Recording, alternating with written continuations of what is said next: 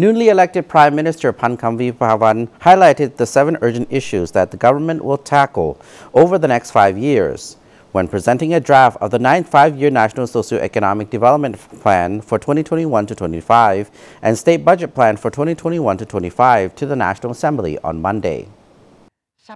Addressing financial affairs, particularly public debt and financial leak, is one of the seven urgent issues the government will tackle over the next five years. ด้านการเงิน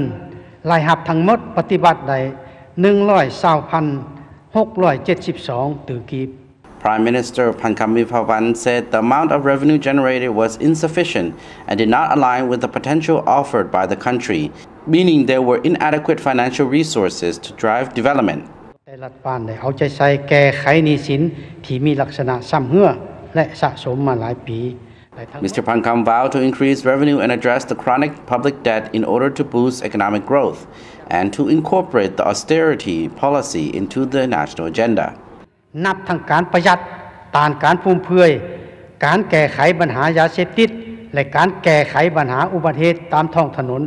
Secondly, the government will take strong actions to counter social ills such as corruption, drug trafficking, and road accidents, which are hindering the country's development. การปรับปรุงสภาพแวดล้อมการลงทุน และการดำเนินธุรกิจ The Prime Minister said the government is keen to create an environment that is conducive to attracting more investments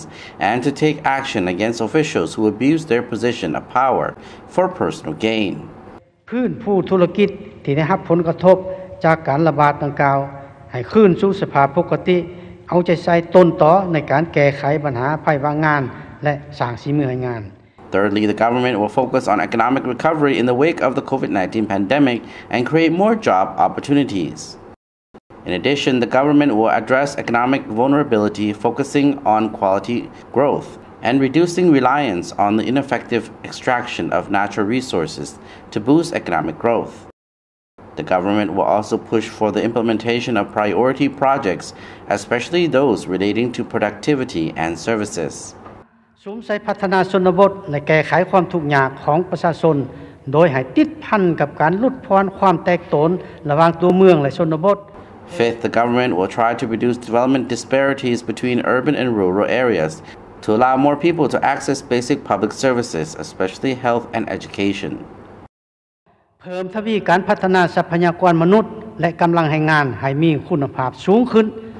Six, the government will focus on human resource development, moving towards professionalism in response to the 4.0 digital age and new normal.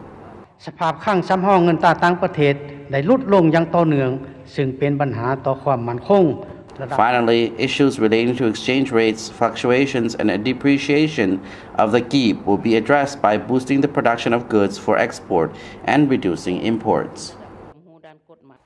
Laos is vulnerable to external shocks, climate change, and natural disasters, the effects of which have been exacerbated by the pandemic and have increased the government's public debt and fiscal deficit.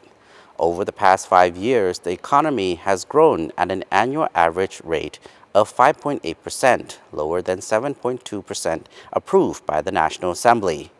However, this figure is higher than the global average economic growth rate thanks to the support of development partners and friendly countries.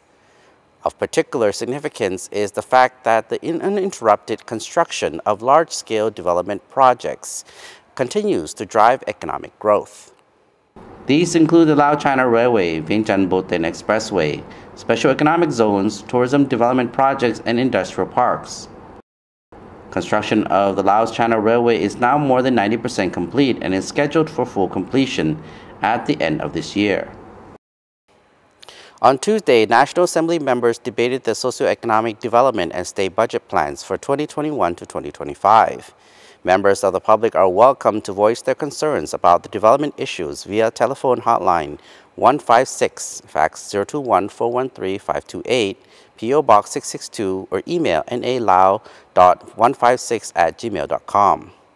So I'm Spakson Silapit and the news team reports from the new National Assembly building in Vientiane capital. Thank you very much for now.